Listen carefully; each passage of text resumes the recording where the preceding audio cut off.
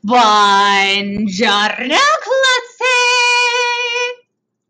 Come state?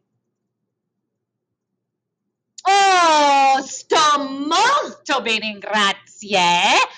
Oggi cominciamo. Today we are starting with una lezione con i verbi irregolari, with irregular verbs. Specifically, questi due verbi, these two verbs, stare e dare. Due verbi are irregolari. Two irregular ARE verbs. Now, Let's backtrack un pochino, a little bit, to talk about verb infinitive, stem, and ending, which are terms noi usiamo, we use when conjugating verbi in inglese, in italiano, but well, oggi in questa lezione. So the infinitive form of the verb is the entire verb that is not conjugated. So stare is the verb infinitive.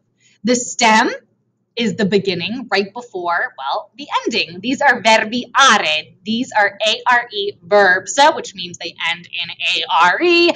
Therefore, the stem is stare or st, st. All right, con il verbo dare, what is the infinitive form?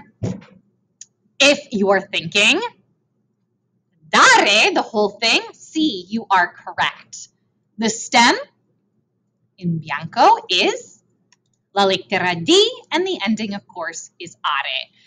These are due verbi molto corti, very short looking in Italiano in comparison to some of the other regular verbs that we've conjugated before. Now, questi sono due verbi irregolari. These are two irregular verbs, which means they don't follow a regular pattern. Parlando, when I'm talking about regular patterns, think of quella canzone, think of that song. Io enzino, tu enzini, lui, lei, enzina, noi amo, voi a te, loro hanno are, are, are. Okay? So there will be a lot of similarities with regular ARE verb endings and questi verbi irregolari and these irregular verbs, but they don't follow that traditional pattern of consistency in that rule. The verbs stare and dare are irregular because they have different conjugation forms than those regular ARE verbs. Again, because I can't resist uh, and mi piace cantare, I love to sing, a, r, e, a-R-E. Io enzino, tu enzini, lui, lei, enzina, noi amo, voi a te, loro hanno are, A-R-E, A-R-E. Cominciamo. We'll start with il verbo stare with some expressions. Of course, sappiamo, at this point we should know stare means to stay in terms of location, to be or feel. There are three expressions in particolare. There are many, but these ones are very much used, and at least uh, nella nostra classe di italiano, in our Italian class, we use them as well. Quite often, spesso. So stare bene, stare male, stare attento. Let's talk about, parliamo di stare bene. Believe it or not, I use this at the beginning of classe. I actually used a stare expression at the beginning of classe. I asked, buongiorno classe, come state? How are you? How are you doing or feeling? And I answered with, sto benissimo, grazie. So, stare bene, I am feeling, or I am bene, well. Molto bene, very well benissimo, like the wellest of all, right? Um, stare male, not so hot. Stare molto male. Is stare malissimo. Not well at all. Stare attento, believe it or not, is a cognate. Attento. Attention, right? To pay attention. So stare attento is also an expression usato molto nella classe di italiano. State attenti, I would often say, pay attention, especially to direzioni, directions. Stare is regularly irregular. You'll see why.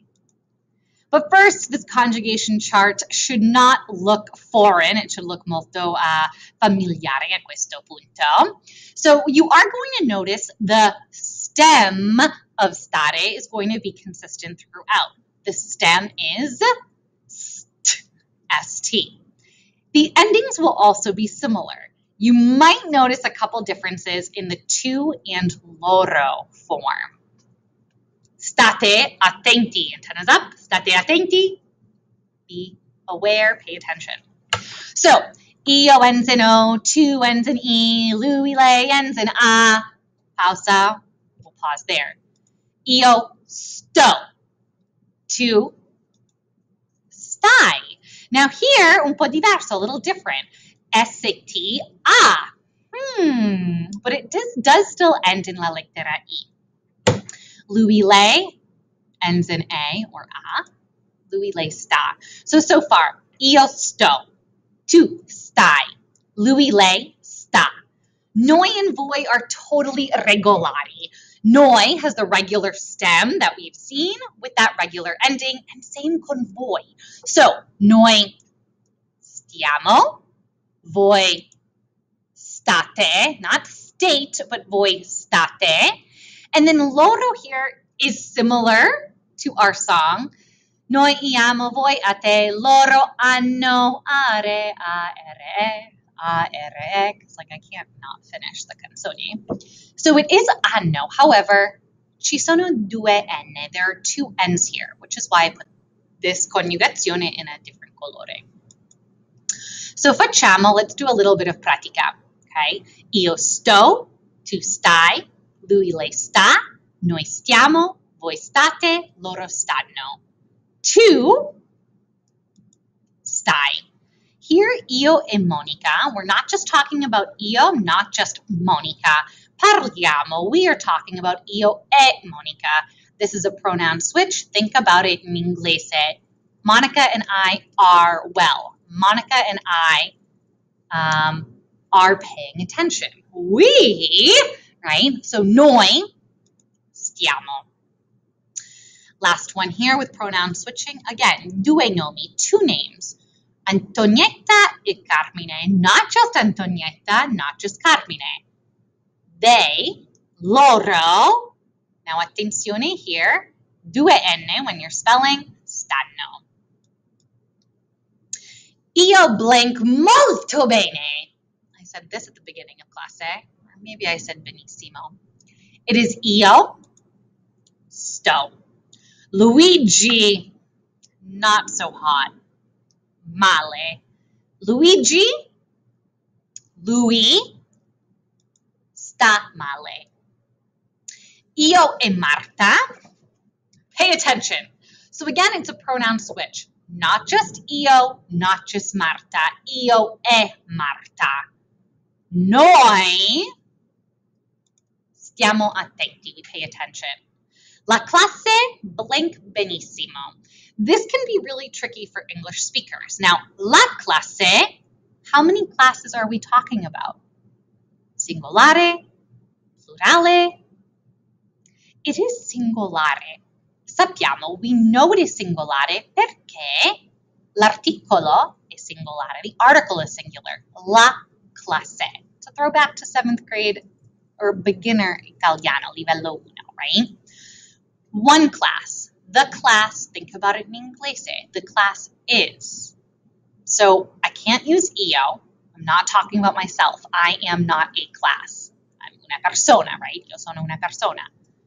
I'm not talking to a class. So it's not to, and it can't be voi. saying the class is. Um, I'm not talking about the class they, so it can only be one form, right? And this is something, again, as English speakers, we get confused on. La classe sta benissimo. Moving on to il verbo dare, which means to give. All forms follow ARE verb endings except the lui, lei, and loro form. Well, kind of. Eh, mostly. So, of course, there are always some espressioni, some expressions that we even use in Inglese. Dare una mano. So, nella classe di italiano, often I'll say alza la mano se avete una domanda, right? Alzate la mano, raise your hand. Mano means hand. Dare una mano is to give a hand, aka to help. Dare un esame, for example, to give an exam, un quiz, un progetto, dare quello che vuoi, whatever. And then, of course, my favorite, this is just the conjugated form where these Italiani, the Italians would say dai, which really means just like, come on. Dai. Coniughiamo il verbo dare. Let's go. Let's conjugate dare. Again, verb conjugation box. The stem is going to look the same throughout. La lettera D, the letter D. Now, the endings are also going to look similar. Let's not get too caught up in the tu uh, and the loro forms quite yet. But ricordate, think of our song. A-R-E, A-R-E. Io enzino, tu enzini, lui, lei, enzina, noi amo voi, a te, loro hanno are, A-R-E, A-R-E. So io ends in O. Io, do. Not io do. Do inglese. Italiano, do. Two. Dai. Dai. Come on. To die. And see, lo so. I know it sounds weird in inglese. To die. See, lo so. Um, but you give to die. Lui, lei, da. Here un po' strano, a little strange and different. Perché? Why? Any guesses? L'accento. There is an accent mark here con il verbo coniugato with the conjugated form of dare. Noi is totally, uh, totally irregular, regularly irregular. The stem, la lettera D, with the regular ending. Noi, diamo. Same thing con voi, totally normal, which is why sono in bianco. Date, not date, date, la classe di italiano. In italiano noi pronunciamo, we are pronouncing tutte le vocali, right? All of the vowels, date. And then loro, danno, due N, two N's here. Io do, to die. Lui, lei dà, noi diamo, voi date e loro danno.